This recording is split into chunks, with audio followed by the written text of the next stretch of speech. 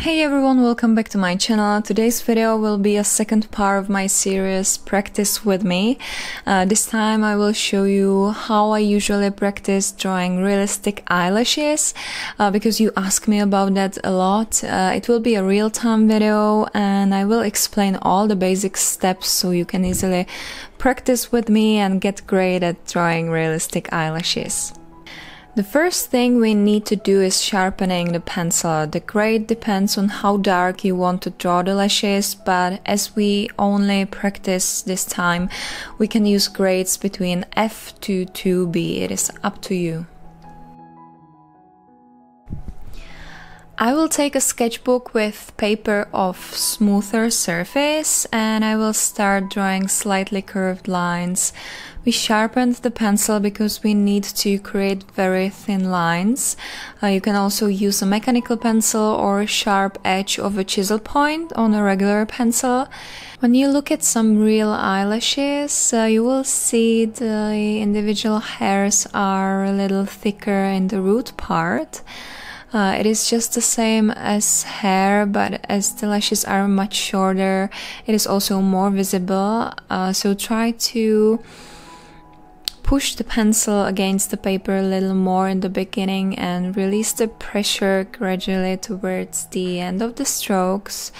So the lines uh, will appear to be thinner in the end. So try to put it all together and practice the lines again and again. Thin lines, slightly curved lines, thicker in the root part and thinner in the end. The upper eyelashes and also the lower eyelashes. Uh, do not hurry. Uh, try to draw slightly curved pencil strokes very slowly, one by one. Stay focused on the nice fine lines. Uh, then try it also in different way as the lashes are on both eyelids, the upper and the lower one, and the lashes are growing in various directions.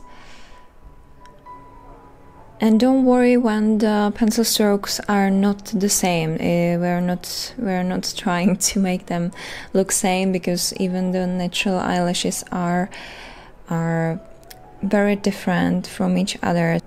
I also recommend to hold the pencil closely to the tip of the pencil so you will have much better control over the pencil.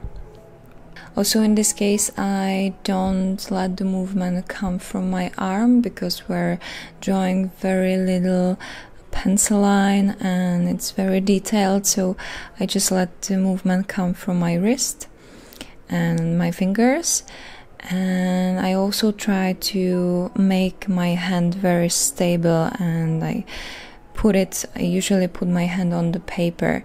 If you don't want to disrupt the paper with your skin oils, uh, I don't mean during the practice, but maybe during the uh, realistic drawing a portrait, then just use a special piece of paper under your drawing hand so you won't smudge anything and you won't uh, damage the paper with uh, the the oils coming from your skin.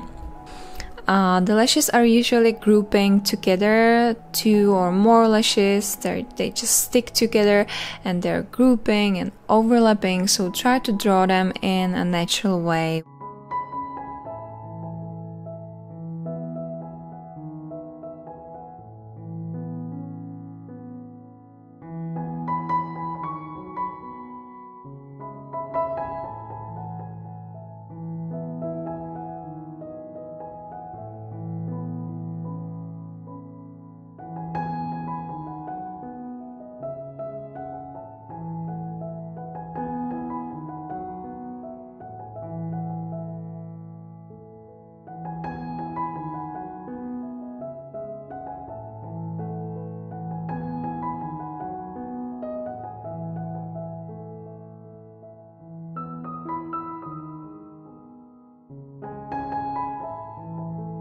Right now we're trying to practice the lashes already on the eyelid. Uh, you do not have to draw and shade the eyelid in a realistic way.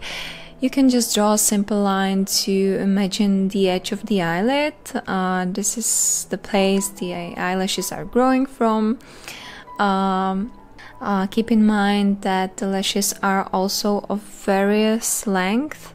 Uh, in the inner corner, they're usually uh, a little shorter than in the middle part of the lashes.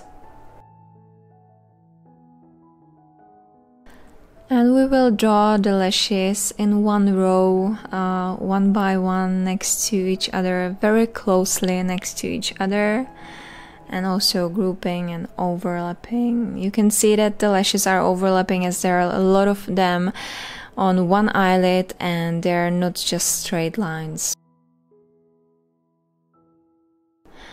They're also growing in various directions, uh, depends on so on the placement uh, within the row of the lashes.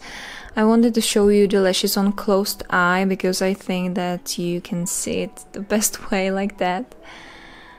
And then just repeat everything to practice it. Uh, it is a great way to practice uh, the eyelashes. Uh, it is great to practice few times a week at least uh, for a few minutes every time to improve faster and to see the results quite quickly.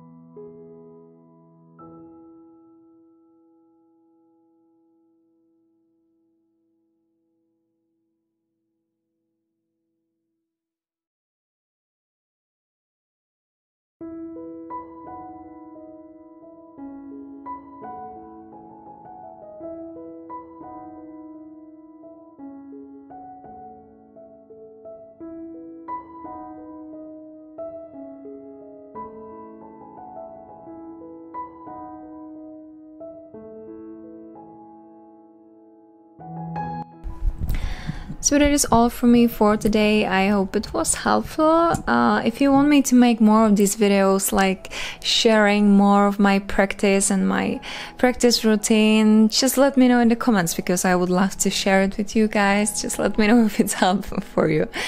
And yeah, if you like the video, please give it a thumbs up, share it with your friends, and also make sure to subscribe to my YouTube channel. Also, turn on the post notifications because you don't want to miss any of my new videos. and I will see you in my next video. Bye!